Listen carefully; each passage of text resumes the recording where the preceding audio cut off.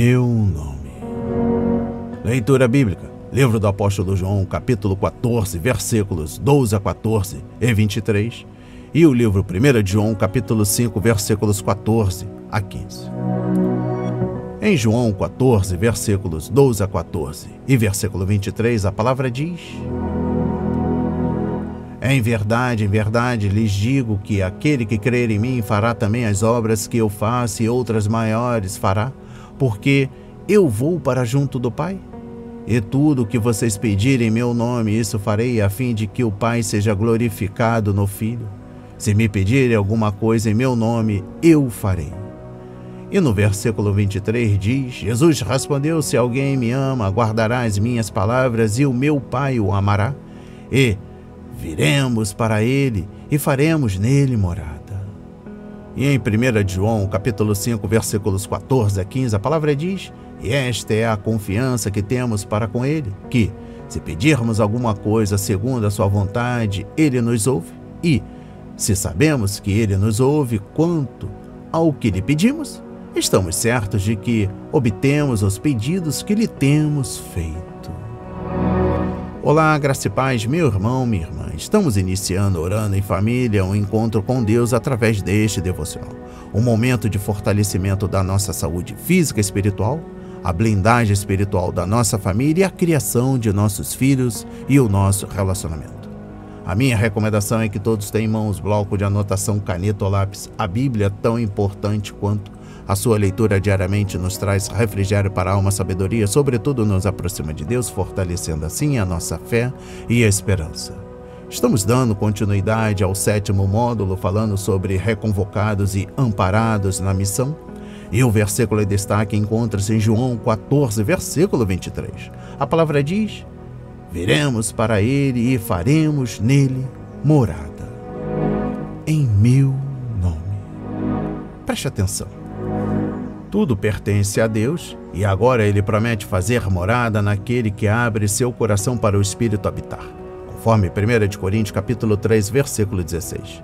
Não será mais um estranho, um convidado, nem alguém de fora, mas passa a agir de dentro do próprio ser humano. Alguns dias após aquela noite marcante, percebemos algo estranho na mão de nosso filho. Havia se desenvolvido um nódulo, um cisto.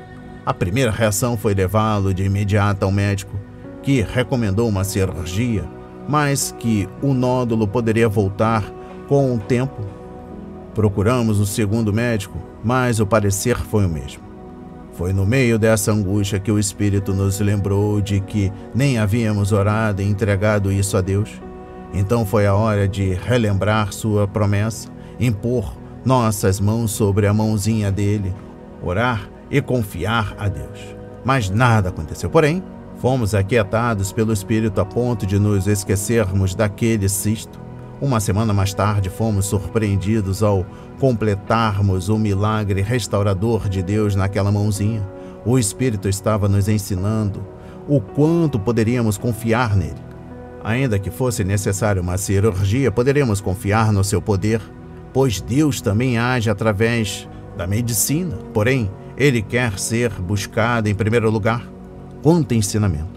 Deus manifestou sua palavra mas busque em primeiro lugar o reino de Deus e a sua justiça, e todas estas coisas lhe serão acrescentadas. Mateus 6, versículo 33. Quando buscamos primeiro Deus, encarrega-se de tudo ou mais, independentemente da forma como será. Ele simplesmente o fará.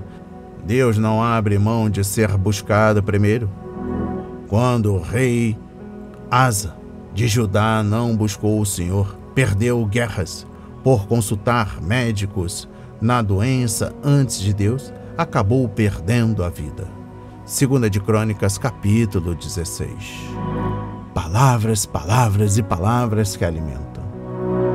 Morada é o lugar onde se mora, casa onde se habita, abrigo onde se junta a família. Possuímos uma imensa dívida de morada, isto é, Há milhares de famílias sem abrigo, sem lugar para morar, sem sossego, sem paz física. Olha o que diz João 14, versículo 23. Existem corações onde o Altíssimo não faz morada. Que situação dolorosa, não é verdade? Fique deserta a sua morada e não haja quem habite as suas tendas. Aqui o salmista retrata a calamidade caída sobre os que levaram o Messias ao sofrimento e à morte. No Apocalipse 18, versículo 2, o Senhor, falando sobre a Babilônia, diz: Caiu, caiu a grande Babilônia e se tornou morada de demônio. Covil de toda espécie de espírito imundo e esconderijo de todo gênero de ave imunda e detestável. Fala da humanidade sem Deus, em cujo coração o mal reside. Dois escritores do Novo Testamento registram o ensino do Senhor Jesus, a saber, o espírito mundo sai de um homem e, não achando morada, volta para a casa de onde saiu. Achando-a varrida e ornamentada, vai e leva consigo outros sete espíritos piores do que ele e ali habitam. O Senhor conclui seu ensino dizendo: E o último estado daquele homem é pior do que o primeiro. Os corações dos santos é morada do Senhor. Sim.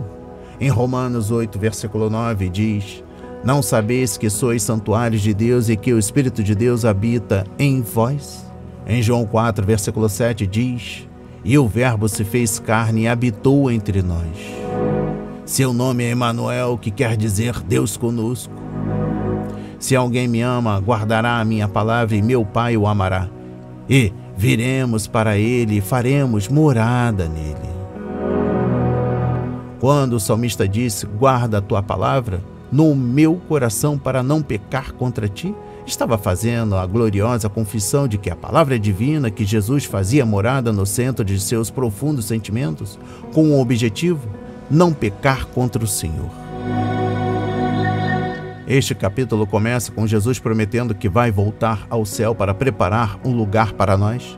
No entanto, ele quer que nós saibamos que não precisamos esperar um lugar para nós. No entanto, ele quer que nós saibamos que não precisamos esperar até o céu para estar na presença de Deus. À medida que o amamos a Deus e obedecemos a sua palavra, Deus vem e faz morada conosco.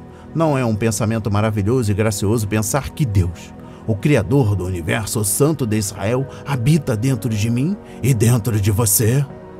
Olha, em muitos enterros de cristãos, o pregador enfatiza como Jesus nos deixou para preparar um lugar para morar com Ele. Depois, Ele voltará para nos levar.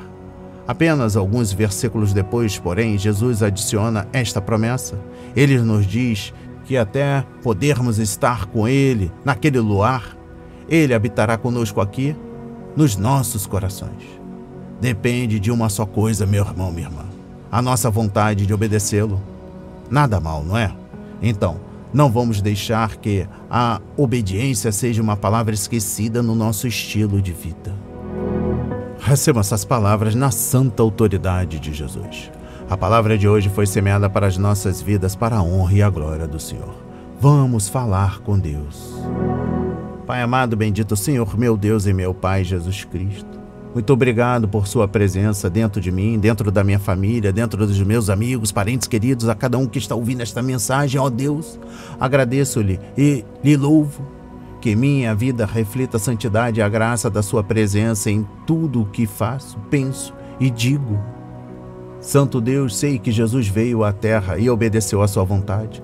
Dai-me o discernimento para que a minha obediência seja não apenas obediência das Suas palavras, mas um anseio de viver de acordo com a Sua vontade. Anseio honrá-lo porque o Senhor tem feito tanto para me salvar, Pai. Obrigado. Em nome de Jesus, o nosso Salvador e Libertador. Pai, quero ser um com o Senhor e te buscar em primeiro lugar.